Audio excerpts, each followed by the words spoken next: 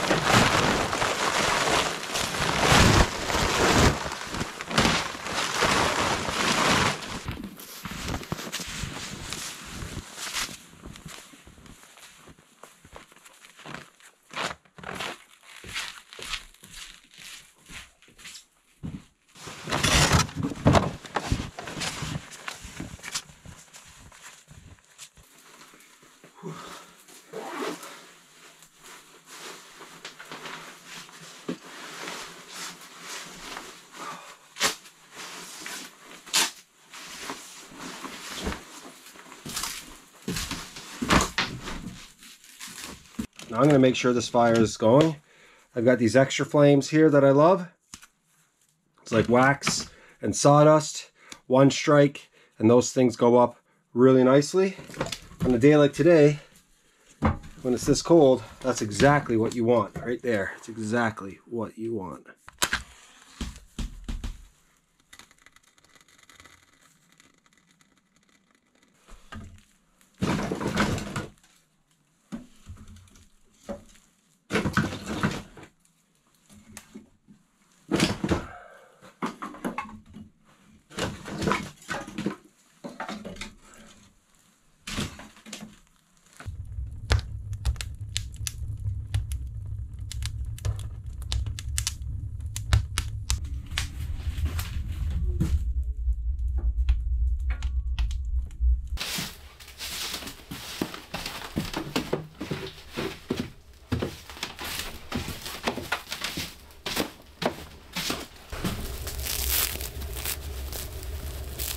Frozen neck warmer from being around my nose. Standard stuff when you're in the north.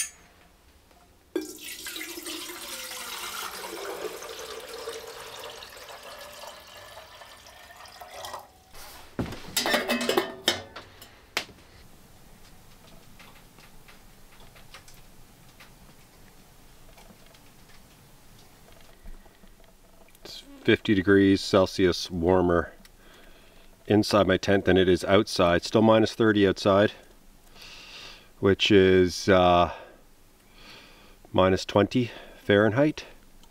And inside the tent it's uh, 70 degrees Fahrenheit. So yeah, it, there's a huge difference and it feels great in there right now, I can tell you that.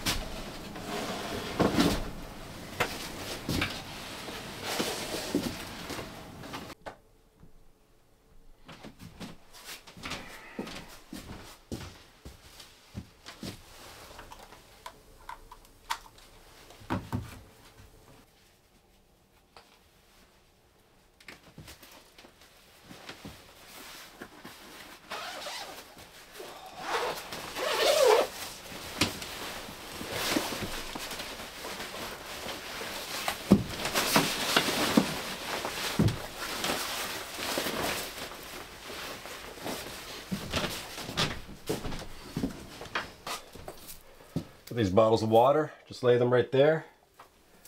And within a couple of hours, they should be good. Sitting right over the stove. They're like rocks now. Listen. And my, uh, everything is dry except this has a little bit of dampness left in it. So let's leave it like that. Actually, I'll leave it on the inside so that way if it falls, it's not falling on the stove.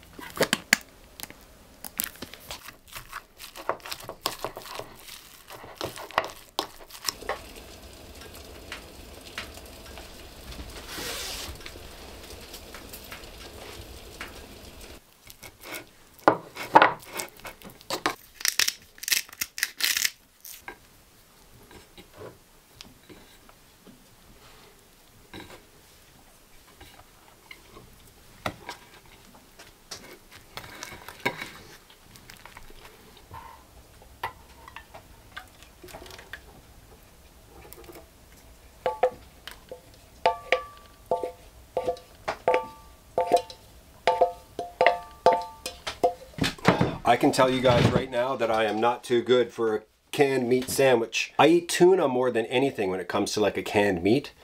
Um, and I would imagine tuna is probably the most popular canned meat out there. And I've got a can of cream of mushroom soup. Very basic, but super delicious with the sandwich on the side. And this is my late lunch today. So I'm really looking forward to eating this. So yeah, I'd love to hear from you guys about your favorite canned meat. I know some people just stay away from it, but I love it. I've had Klik, I've had spam, I've had corned beef hash, I've had uh, flakes of ham, flakes of turkey, tuna, you name it.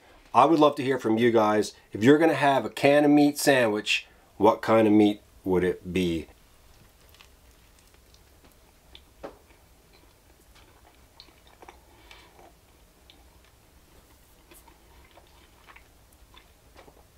Yes, just as I remember it. Super salty. And definitely has that I've been in a can feel. And that's exactly what I want right now.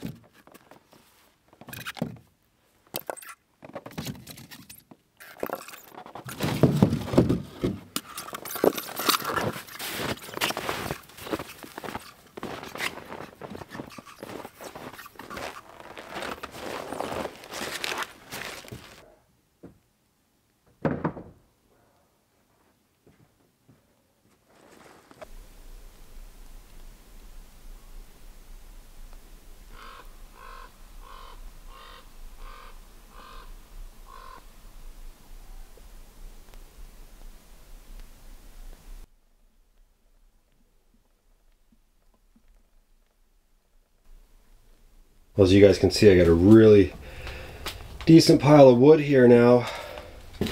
And I'm just hoping that it'll last me the night. I'm not sure. It's quite a bit of wood. And I haven't used too much yet. I've been here for a few hours. But I am going to be here for another 20 hours or so. So we'll see what happens.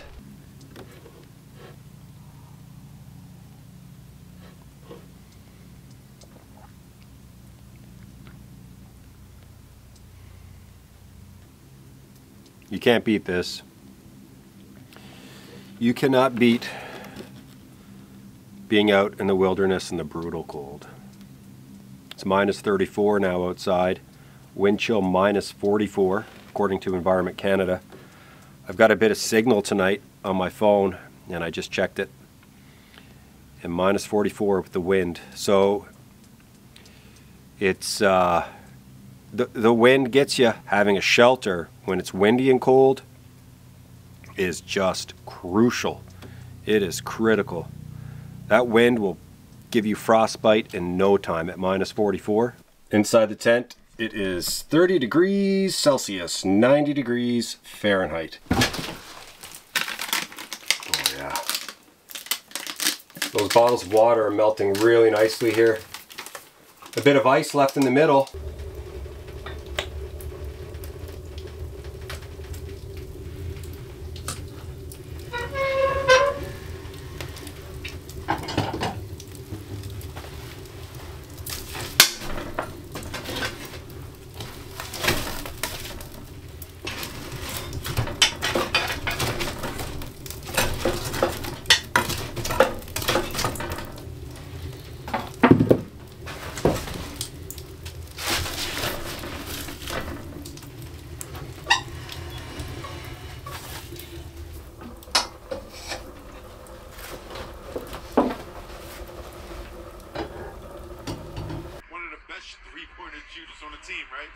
Tonight I got a crazy signal. I can't believe it. I can actually watch a basketball game here at this place in my tent, which is crazy. Normally I have to go over to the corner to get any sort of signal. But here I am, just watching the Raptors at the tent. Oh man, this is the best.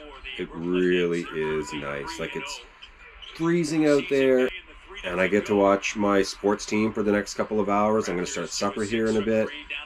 Let it cook slowly while I watch the game. Like this is this is amazing out here doing this.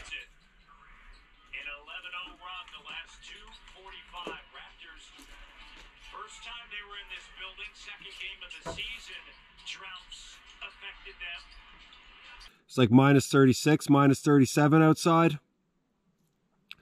And uh, it's dropping and I want it to go below minus 40. That would be uh, very cold. I'm to cook on my propane stove with my propane oven so that way I can really control the temperature for supper. This, I mean, it's minus 37 outside right now, and this uh, should start should run propane because it's encased in snow so it's going to be actually be warmer than minus 37 down in below the snow because it's been buried and it's somewhat insulated down in there away from this cold air temperature.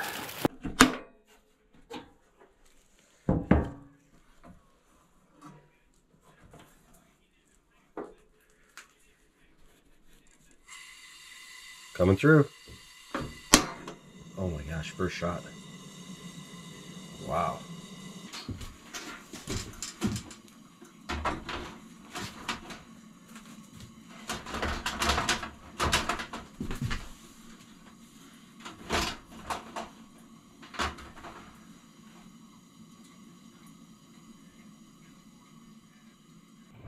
Looks like there's a lot of smoke coming off of this.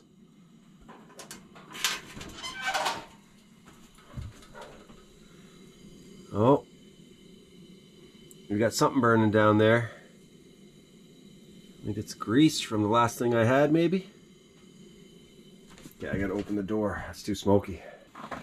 Temperature's gonna drop really hard now, but I gotta do it. It's too smoky. I'm gonna open the stove all the way up, crank it, and uh, let that compete. The temperature's already dropped five degrees just like that. with that door open. So I can see it. I'm watching it move. It is moving. Yeah. Dropping fast. Not much left.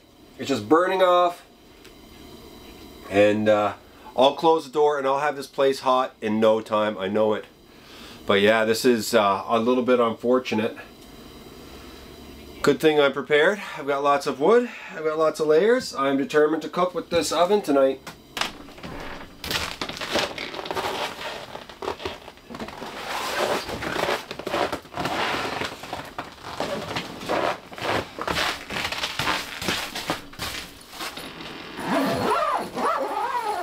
Tells you how cold it is. There is snow on this wood. And it's been in here for about three hours now. and that's how cold it is on the floor of this tent. And at the top, it's like 80 degrees, 90 degrees Fahrenheit, 30 degrees Celsius. And at the bottom, on the floor, it is freezing or below freezing. Yeah, crazy.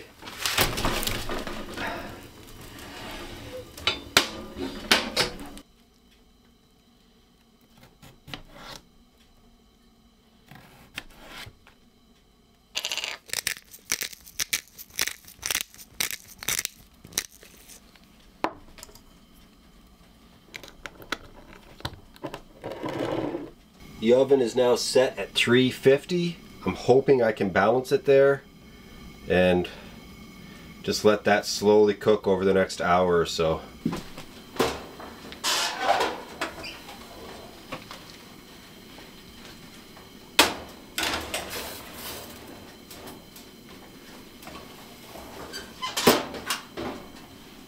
This is what cold sounds like.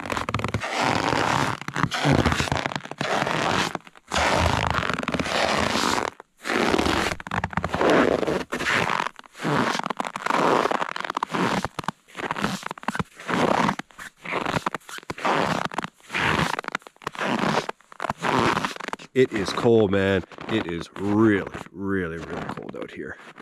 It is nuts. Almost minus 40. And uh, I'm, I'm loving it. I want it to be colder. Let's go. Let's see how cold we can get it. Check out this. My snowmobile. This is my seat. Like, should be nice and soft. Like that. That is not a comfortable ride right there. Back here is even harder. It's like rock. My snowmobile is cracking. Wow. It is dark and freezing. And you can definitely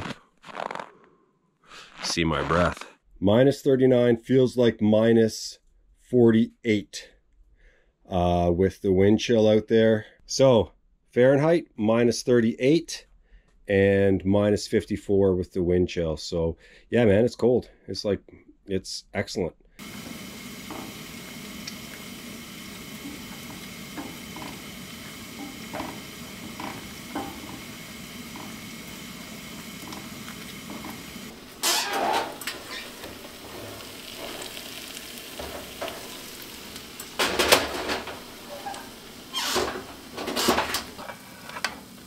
Look at that. Oh, baby. That is perfect.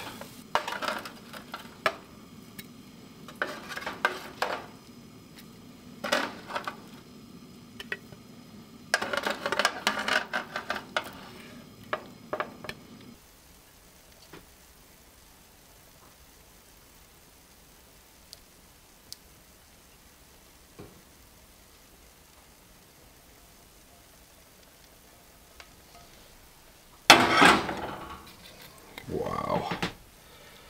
Look at that. That cooked perfectly. I let it sit in there for maybe, I don't know, hour, hour and 20 minutes maybe. I love chicken thighs, especially with the skin on, because then they get all crispy. That's what the flavor is. So let's see what we have here. First I'm going to go with a bit of potato. And man, those potatoes crisped up like champions.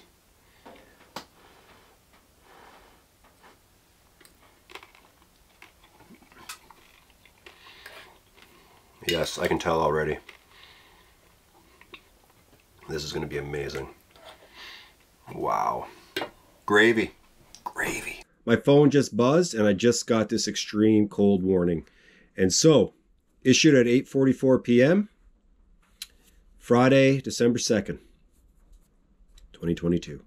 Extreme cold, wind chill values of minus 50 are occurring this evening in some locations. Yeah, this location. Temperatures will moderate overnight. Extreme cold puts everyone at risk. Risks are greater for young children, older adults, people with chronic illnesses, people working or exercising outdoors. Luckily, I'm in my tent, and those without proper shelter. Yes, and I have that. So, watch out for cold related symptoms shortness of breath, chest pain, muscle pain, weakness, numbness, color change in fingers and toes. Dress warmly, dress in layers that you can remove if you get too warm. The outer layer should be wind resistant. Okay, hit minus 40, which is awesome. And you can see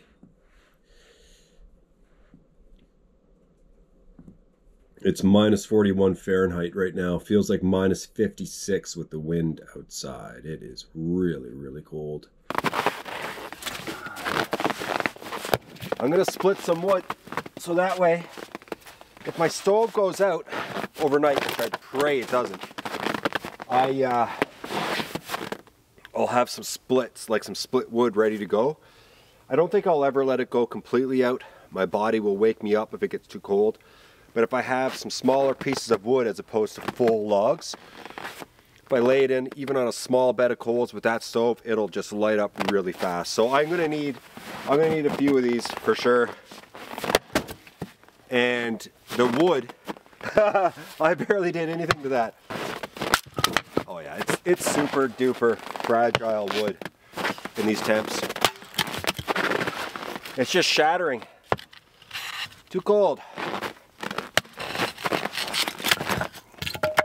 Like it's falling apart.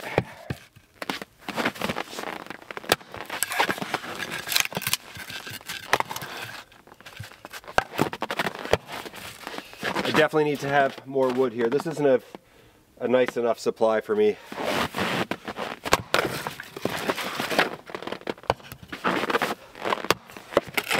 Like it's not even cracking, you know?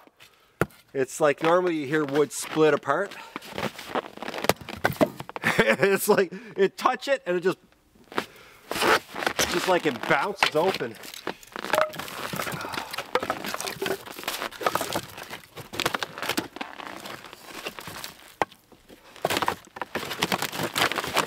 Okay. Put my splits right there on top.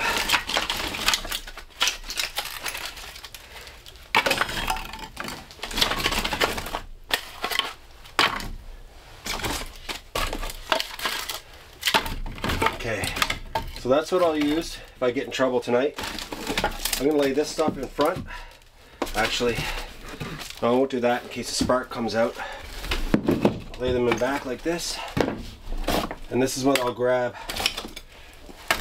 just to get that fire ripping in the middle of the night. I do feel ready to go. I've got all this wood here. I've got wood in behind the stove.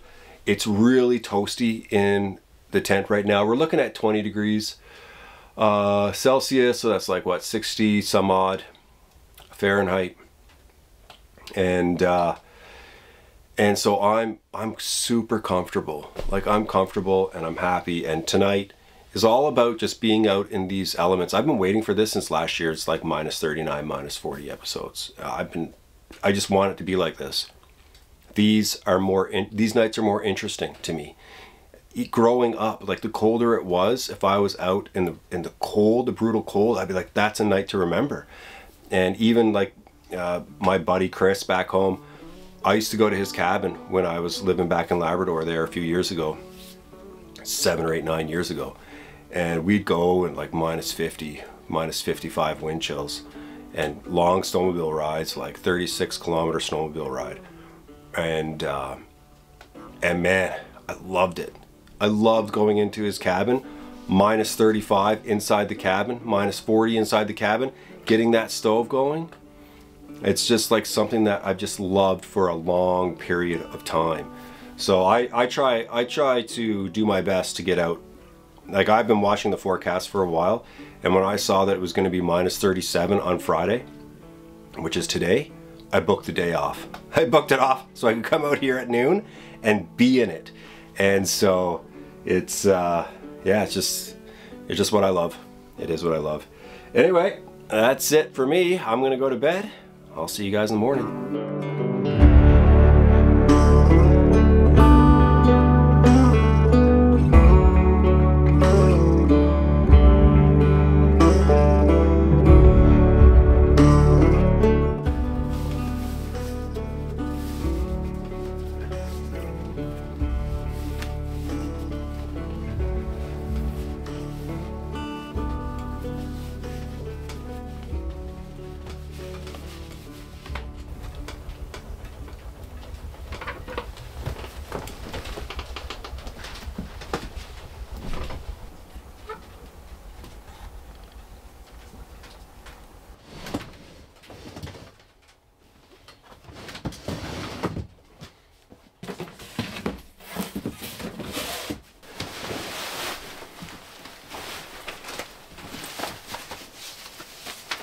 By the way, I do have a carbon monoxide detector with me, just in case things go wrong overnight. So outside the tent, it's like minus 23 Celsius, which is about minus 10 Fahrenheit. And I actually think the snowmobile will start. Let's see.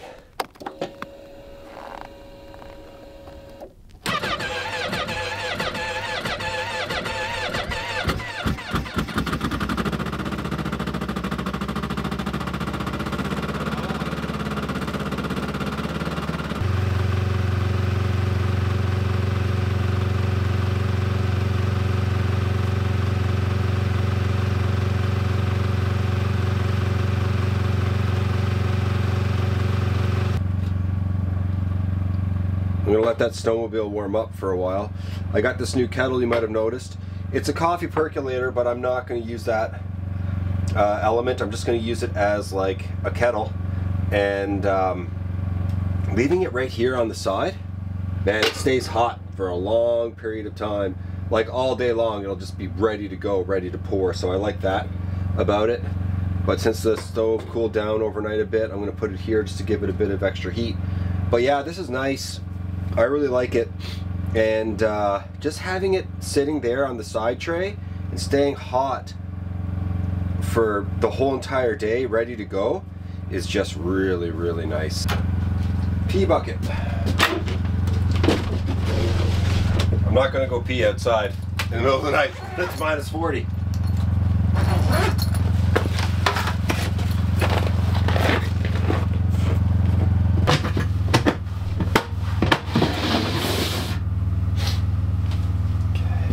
Now I've got a beautiful bag of splits ready to go. When I get back,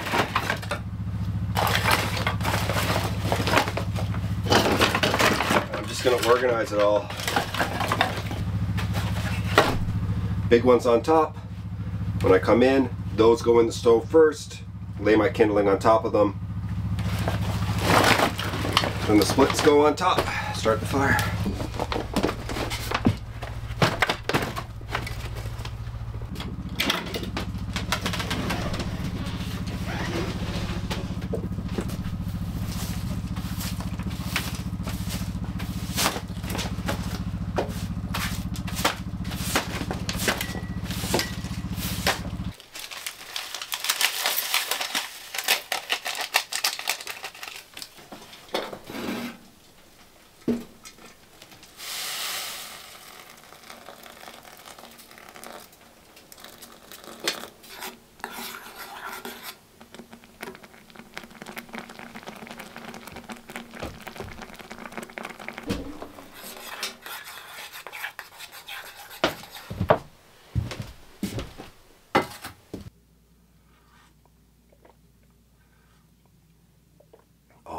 That's good. I've been on this oatmeal and tea kick for the last couple of weeks to start my day. And it's a really nice fresh way to start a day. Anyway, that's going to be it for this video. I had a wicked time. I hope you guys had a really good time too. It was awesome being out here last night when it was super cold. And uh, I had a comfortable sleep and just had a really nice time out here. The meals were delicious. And I can't wait to get back. I really can't. And I think this winter what I'll do is I'm gonna I have some RBM tents, some extreme cold camping tents that set up rather quickly. If you haven't seen them already, if you uh, you're new to my channel, I've got these other tents that I use and and uh, they're they're pretty awesome in the wintertime. So I'm thinking I'll I'll be you know peppering those throughout the season in some extreme cold conditions. Anybody who made it to this point in the video, by the way, thank you so much. Um, I say this every, you know every once in a while on my videos that uh, it means a lot to have people stick around right to the end. And I know that a lot of people drop out when they watch YouTube videos. So if you made it this far, thank you so much. I really appreciate it. And uh, yeah, I, uh, I'm going to head out in this nice, lovely snowfall here in a minute. I'm going to finish my tea and my oatmeal and uh, yeah, go home and start thinking about the next video. Anyway, thanks so much for watching everybody. I'll be back really soon.